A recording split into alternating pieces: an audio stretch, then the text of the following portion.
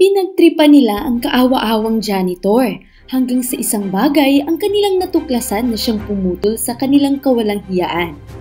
Alam mo ba kung gaano kahirap ang trabaho ng isang janitor?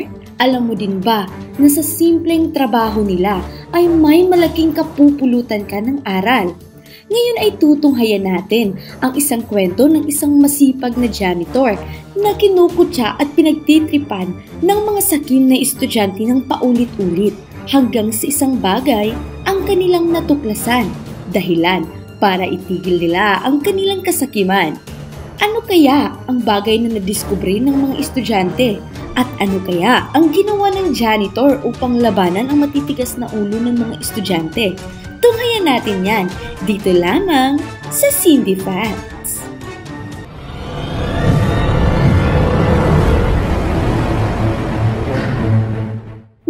Janitor si Manong Jaime sa isang pribadong paaralan. Sa katunayan, napahanga niya ang mga guro sa angking sipag ni Manong Jaime sa paglilinis sa buong eskwelahan. Bukod sa pagiging matyaga, ay may itinatagong angking galing din si Mang Jaime sa iba't ibang pamamaraan sa paglilinis, dahilan upang makuha niya ang mga simpatsya ng mga estudyante at mga guro. Subalit panibagong taon na naman at napakaraming bagong estudyante sa eskwelahan, mga bagong mukha ng mga estudyante at ang mga estudyanteng naging kaibigan niya nooy graduate na. Kaya gaya na lamang ng ginagawa ng mga guro taon-taon ay ginagawa din ni Mang Jaime ang mag-adjust sa mga bagong estudyante. Ang nakapagtataka ay kakaiba ang estudyante sa taong ito. Kadalasan ay walang asal, maiingay at matitigas ang ulo. Napabuntong hininga na lamang si Mang Jaime. Alam niyang hindi madali ang batch na ito, subalit kailangan niyang gumawa ng paraan upang mapasunod ang mga estudyante na maging responsable sa kanilang basura at iba pang dumi. Isang araw ay nakita ni Mang Jaime na hinahalikan ng mga babaeng estudyante ang salamin sa may palikuran. Matapos nitong mag-retouch ay sinasadyang naglalagay ang mga ito ng makakapal na lipstick sa kanilang labi at hahalikan ang salamin. Sinita ni Mang Jaime ang mga estudyante at sinabing huwag ninyong halikan ng salamin sapagkat hindi mabilis ang paglilinis dito. Ngunit imbis na makinig ay tumawa na lamang ang mga ito at umalis. Kinabukasan ay bumalik na naman ang mga babaeng estudyante sa loob ng palikuran at ginawa ulit ang kalapastanganan sa salamin. Ngayon ay mas dumami pa ito at mas kumapal.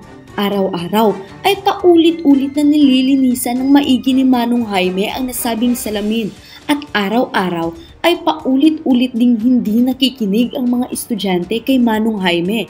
Porket isa lamang siyang janitor ay kinukutsa-kutsa lamang nila ang kawawang Manong Jaime. Kinabukasan ay nakapagdesisyon si Manong Jaime na magpunta sa principal at doon isinalaysay nito sa punong guro ang kalapastangan ng ginagawa ng mga ito.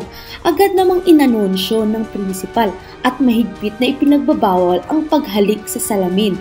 Ngunit hindi nakikinig ang mga ito. Sa katunayan ay palihim pa itong tumatawa, tuwang-tuwa sa pangungulit at kawalang hiya ang kanilang ginagawa.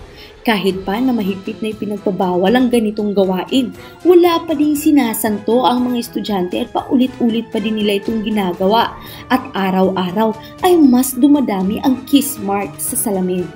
Lalong kumakapal, mas nagiging mahirap tanggalin kaya tuloy si Mang Jaime ay napahamon sa katigasan ng ulo ng mga baguhang estudyante. Ang di nila alam, kahit isang janitor lamang si Mang Jaime ay may angking talino din ito. Kinabukasan ay ipinatawag ng principal ang lahat ng mga estudyanteng babae at pinapunta sa may palikuran kung saan nag-aabang si Manong Jaime. Pagpasok ng mga estudyante ay agad ipinakita ni Mang Jaime kung paano niya nililinis ang salaming puno ng kiss mark gusto kong ipakita sa inyo kung paano ko nililinis ang maduming salamin na ito sapagkat napagtanto ko na wala kayong kinakatakutan at wala kayong sinusunod sa sino mang tao sa paaralang ito.